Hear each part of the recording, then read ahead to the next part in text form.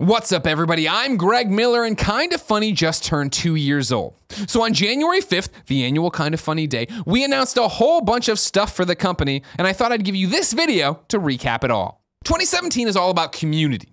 The first two years were amazing as we built this thing, but now it's time to really focus on what makes us special, and that's you. As such, we're implementing a lot of the stuff you've been asking for. First and foremost, we've hired Kinda Funny best friend Joey Noelle to be our community manager. We know that we weren't great at communicating with you in 2016, and we think Joey's the answer. She can keep you in the loop on what's going on with Kinda Funny when it comes to events, streams, and so on, and she can keep us up to date on what's happening on your side of the screen. She speaks for us, and she speaks for you. Next, we're making a lot of changes to Patreon. Most excitingly, we're going to finally have private RSS feeds so you can get early episodes and exclusive podcasts delivered to your phone with fewer hoops to jump through. We're bringing our file sizes down. The live Q&A is becoming an AMA video powered by your comments, and we're adding a $2 tier that gives you a chance at winning a video game every day. Now, we're also giving up on the old Patreon milestones we hit. The ones about Let's Plays detailing the history of PlayStation and Mario.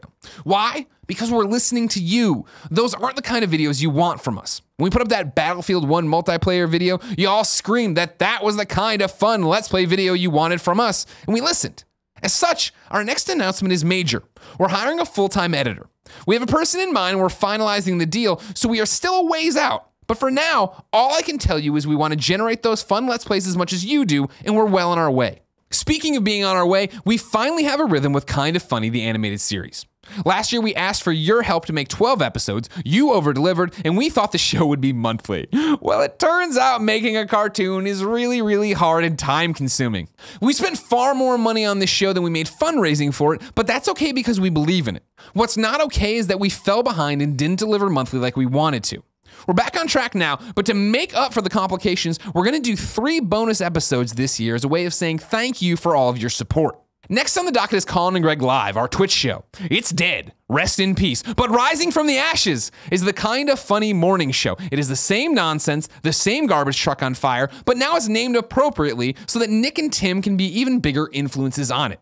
On top of that, we've listened to your feedback and are going to continue broadcasting the show live on Twitch, but also posted to YouTube and as an audio podcast each and every day. And our continuing effort, though, to communicate with you, because we've talked about that, all right? This is going to be a gradual process with bumps along the way, but it's where we're headed. Just the podcast, it takes longer to get a podcast up than you think it would. I don't understand either. But also, we're getting rid of the prize box we're giving you a video game every day. We'll talk about that on the show, though. Anyways, we've shortened our ads. Colin Was Right is now a weekly show, and Sweet Baby Gia Kinda Funny Live 2 is available now on Patreon for anyone that supports us and will be up on YouTube in February.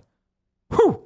That is just the tip of the iceberg for what Kinda Funny has in 2017. We have new show ideas. We're planning Kinda Funny Live 3, and you can bet your ass there are going to be more surprises to come. Ladies and gentlemen, thank you all for the most amazing and rewarding two years of my life. I can't say it enough. Uh, I'm excited to see where the next 365 days take us. But know that until next time, it's been my pleasure to serve you.